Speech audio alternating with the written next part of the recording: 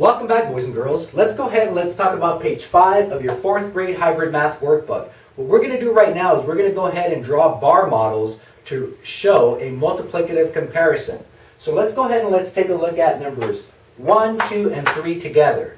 Number 1 says, draw a bar model of 8 times 7 equals 56 and 7 times 8 equals 56. So the first thing I'm going to do is I'm going to go ahead and I'm going to go ahead and draw a bar model there.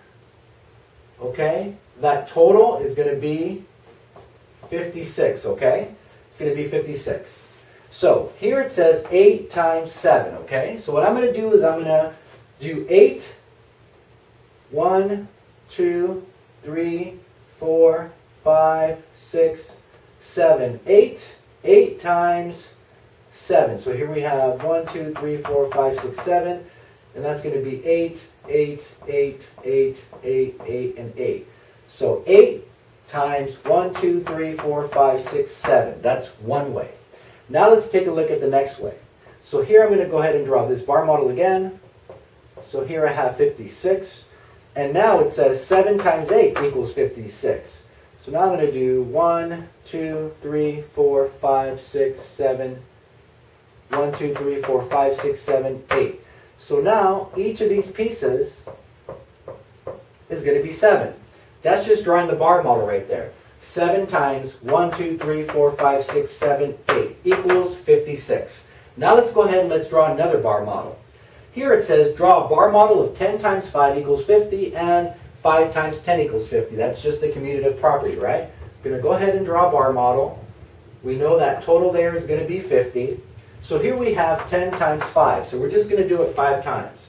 1, 2, 3, 4, and 5. 10 times 5.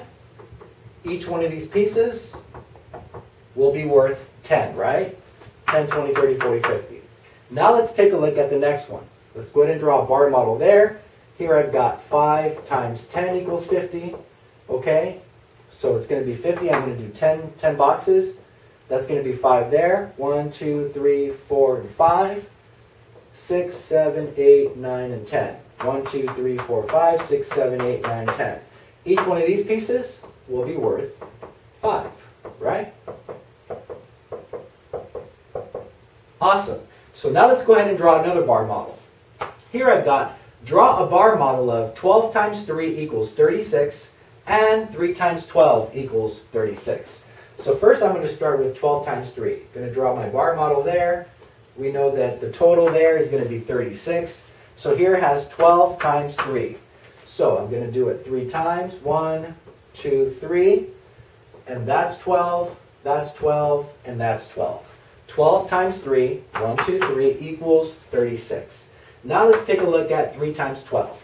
I'm going to go ahead and draw my bar model there. We know that's going to be 36. And we're doing it 12 times.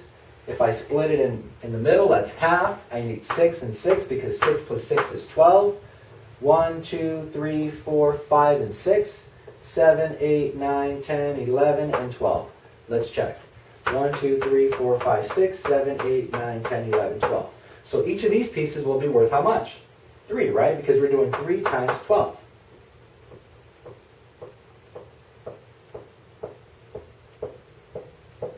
Awesome, boys and girls. So go ahead and draw the bar models of these multiplicative comparisons.